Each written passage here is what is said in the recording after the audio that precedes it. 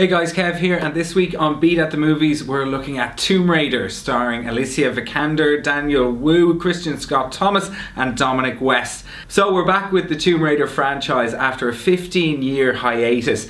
Lara Croft was famously played by Angelina Jolie in those films.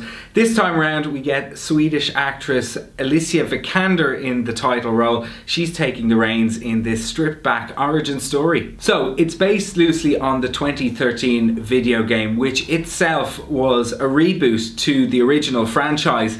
And it has to be said straight off the bat that this film is far better than the Jolie versions. So when we first meet the character of Lara, she is this headstrong bike courier living in London. She trains in MMA, she gets herself into all sorts of scraps, and she also refuses to sign off on her father's inheritance because she refuses to believe that he's dead. He's been missing since he went on a trip to the far reaches of Japan to find an ancient artifact. He's been missing for years after going in search of an ancient artifact, and when Laura makes a discovery about her family, she too decides to go in search of the artifact off the coast of Japan.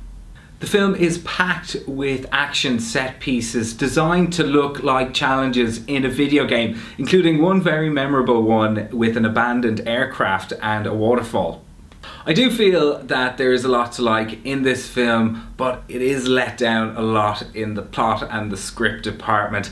The first hour is great fun, really good adventure, but it all kind of falls apart after that. I also had a problem with the fact that Lara is really the only female character in this film. Everyone else is a male, and her sole objective is to find a man, when really she should be independent enough to not need a man. It's patchy, baggy, and a little bit humorless, but overall it is good popcorn fun and it's entertaining. And Alicia Vikander is a fantastic Lara. I'm going to give it six black puddings out of ten.